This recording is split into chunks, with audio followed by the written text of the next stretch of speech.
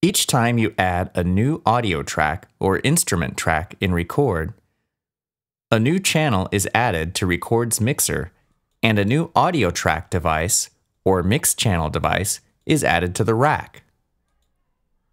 Since the mixer itself cannot be visibly turned around to reveal audio connections, these rack devices provide access to the inputs and outputs of the mixer.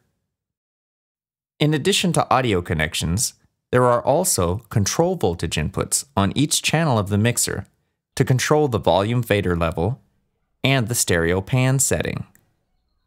In this tutorial, I will show you how to use the control voltage output from a synthesizer to control the volume level of a channel on the mixer. First, I'm going to create an audio track.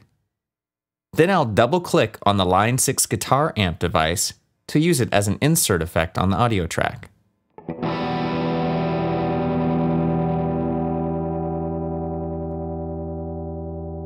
I'll dial in a tone I like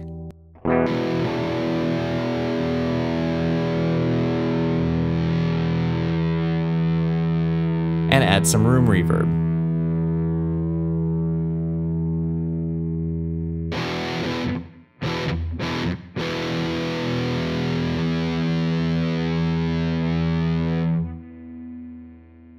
Now I'll turn on the click and turn on the pre-count so I can have a count in and record a simple guitar part so that I'll have something to loop as I work on this setup.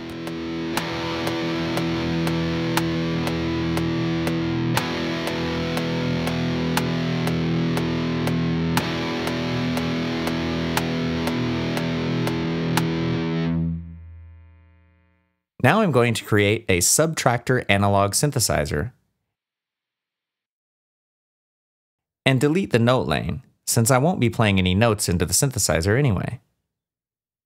Click the Tab key to turn the rack around and connect the control voltage output of Subtractor's LFO1 to the control voltage input for the audio track's volume level.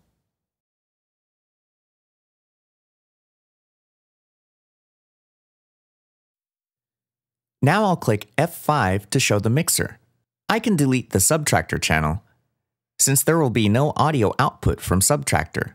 I'll make sure to choose Delete Selected Only, or else the actual Subtractor would be deleted along with the mixer channel.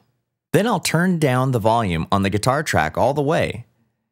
It will be controlled by control voltage from the Subtractor LFO, and would get super loud if I left the volume up. For additional control of volume while mixing, you can also use the CV level knob on the back of the audio track device or a combination of that knob and the volume fader on the mixer channel.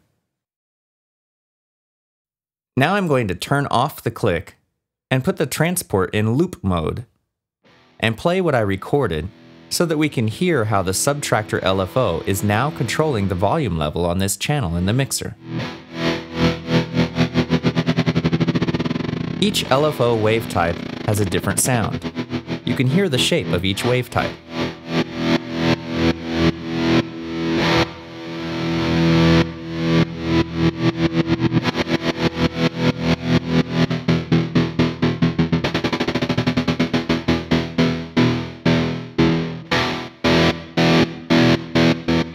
I'm going to stick with the square wave.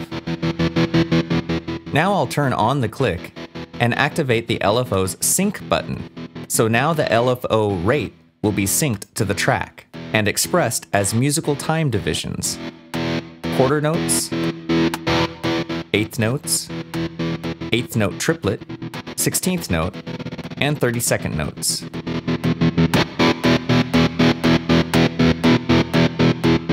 Now I want to show you a way to automate these LFO rate changes. Right-click on the Rate knob and select Edit Automation. This creates a sequencer lane for LFO1 rate. Now I'm just zooming in and choosing a higher contrast track color. My snap is set to bar, so each time I click using my pencil tool, a bar length clip is created. When editing, I like to select my tools using the keys on my QWERTY keyboard instead of my mouse. Now I'll double click on the first clip so that I can edit it. Just drawing a single point in the clip will set the LFO rate for the entire bar.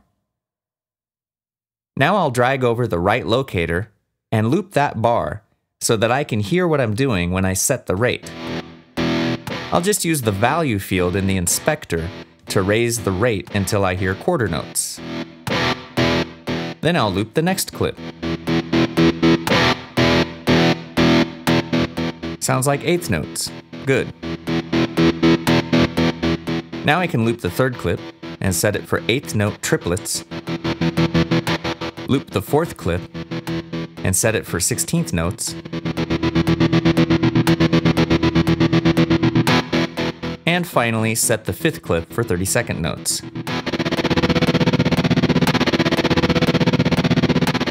Now I'll click outside of those clips to get back to the normal view. And I'm going to right click on the first clip and select Add Labels to Clips. I want to label each clip according to its time division.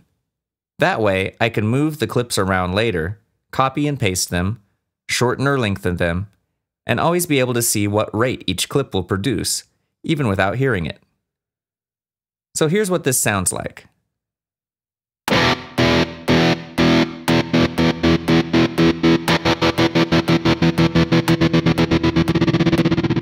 Of course, you can use this to process other things besides guitar, even vocals.